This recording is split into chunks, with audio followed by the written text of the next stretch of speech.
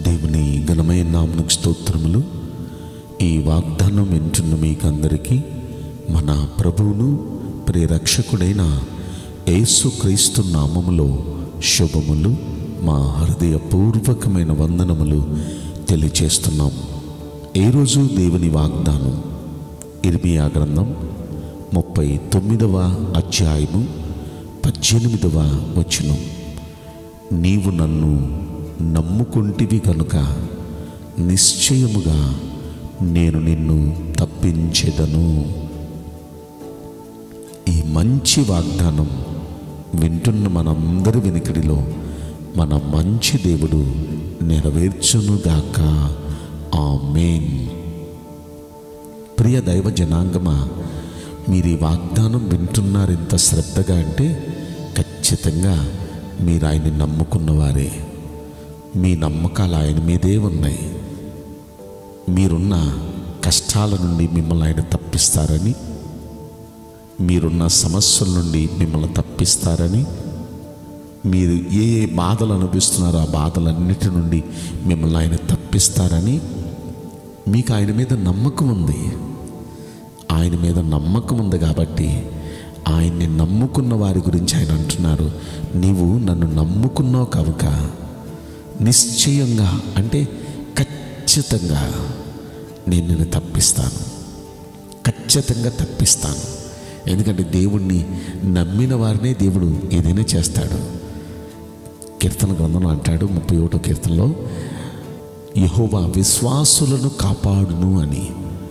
ఎవరికి విశ్వాసం ఉంటుందో వారినే కాపాడతారు. విశ్వాసం లేకపోతే ఆయనకి నచ్చం మనం. హైబ్రిడ్కి రాసిన పత్రిక పదకొండవ అధ్యాయంలో ఆ రోజులు అంటాడు విశ్వాసం లేకుండా దేవునికి ఇష్టలై ఉండట అసాధ్యం. దేవుని దగ్గరికి వచ్చే వాళ్ళు ఎలా రావాలి చెప్పన? ఆయన ఉన్నాడు అని ఆయన్ని వెదకే వారికి తప్పక ప్రతిఫలం దయచేస్తాడని నమ్మకంతో రావాలంట. నమ్మకం లేకపోతే ఆయనకి నచ్చం మనం.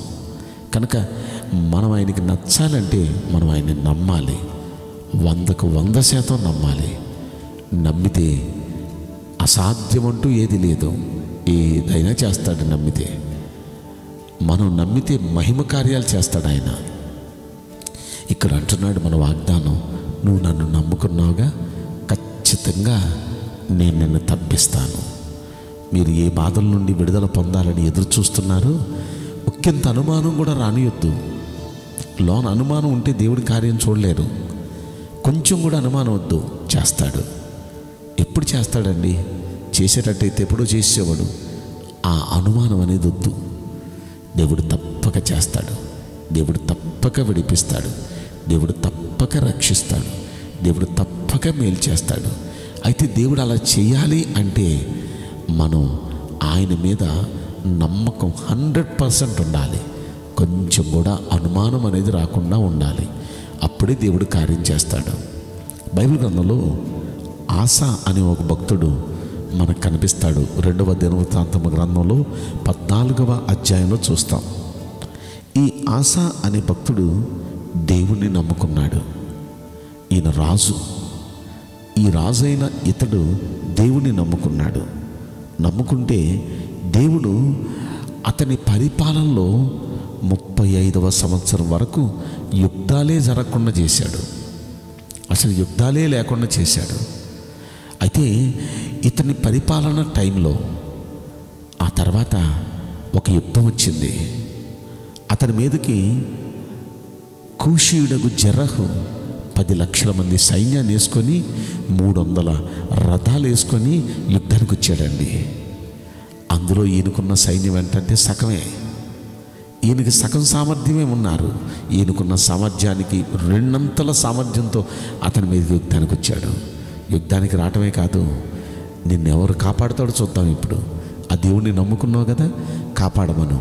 ఆ దేవుడు ఎలా కాపాడతాడో చూస్తాను అంటూ ఇతనికి భయంకరంగా ఉత్తరం రాశాడు. భయంకరంగా ఇతన్ని దూషిస్తూ ఉన్నాడు. ఆ పరిస్థితుల్లో ఏం చేయాలి? దిక్కుతోచని పరిస్థితి. అప్పుడు ఈయన ఏం చేశాడో తెలుసా? దేవుని సన్నిధిలో ప్రార్థన చేశాడు. పద్నాలుగు అధ్యాయం రెండవ దినవృత్తాంతం గ్రంథంలోనే పదకొండు వచ్చంలో ప్రార్థన చేశాడు. దేవునికి మొర్ర పెట్టాడు. విస్తారమైన సైన్యం చేతిలో ఓడిపోకుండా ఈ బలం లేని బలహీనమైన మాకు నీకంటే ఇక ఎవ్వరు లేరయ్యా? నువ్వే మా దిక్కయ్యా. ఈ పరిస్థితుల్లో మేము నీ సహాయం కొరకే ఎదురు చూస్తున్నామయ్యా మేము నిన్నే నమ్ముకున్నామయ్యా. అంటూ దేవుని సన్నిధిలో ఈయన ప్రార్థన చేస్తూ దేవుని సన్నిధిలో మొర్ర పెడుతూ బతిమాడుకుంటున్నాడు. దయచేసి సహాయం చేయ అయ్యా దయచేసి సహాయం చేయ దయచేసి మమ్మల్ని ఆదుకో అయ్యా. నేను దిక్కు లేనోళ్ళు మీరే దిక్కయ్యా. నిన్నే నమ్ముకున్నామయ్యా. ఈ విధంగా ఈ విధంగా ప్రార్థన చేయడం మొదలెట్టాడు. అతడు అలా ప్రార్థన చేస్తూ ఉండగా ఆయన నమ్ముకున్న కారణం దేవుడు ఏం చేశాడు తెలుసా?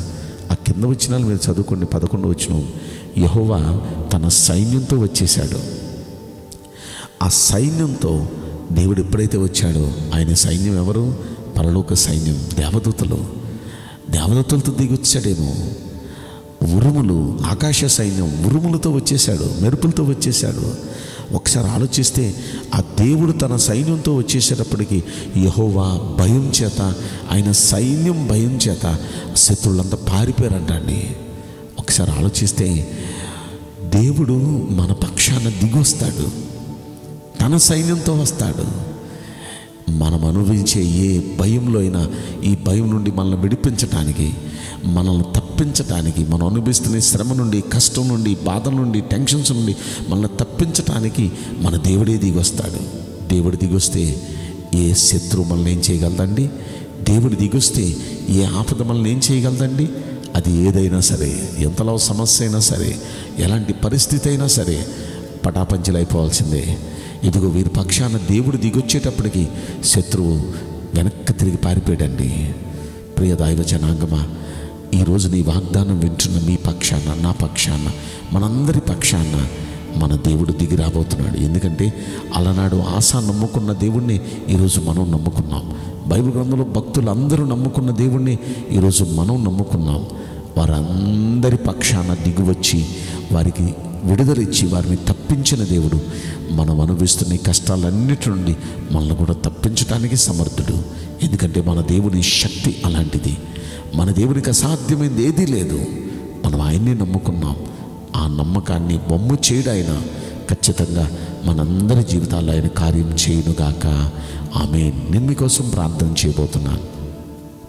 పరిశుద్ధుడా ప్రేమ్యలేశ్వరాజా మీ పరిశుద్ధ బంగారు పవిత్రమైన నామునకు రెండు మనసుతో కోట్ల కొలదిగా స్థుతులు స్తోత్రములు వందనాలు చెల్లిస్తున్నాం. ఈ వాగ్దానం వింటున్న ప్రియుల జీవితంలో దయచేసి ఈ వాగ్దానం నెరవేర్చి కృప చూపించండి. నిన్నే నమ్ముకున్న మీ ప్రియపిల్లలందరి కుటుంబాల్లో గొప్ప సమాధానం నెమ్మదనిచ్చి వారు అనుభవిస్తున్న ఈ కష్టాలన్నిటి నుండి తప్పించి మీరు మేలు దయచేయమని ఈ కొద్ది మనవులు నసురుడైన యేసు క్రీస్తు ప్రశస్తమైన నామలో మిక్కిలి వినయంతో ప్రార్థించి బ్రతిమలాడి వేడుకుంటున్నాం. ప్రియ పరలోకపు తండ్రి amen may God bless you all thank you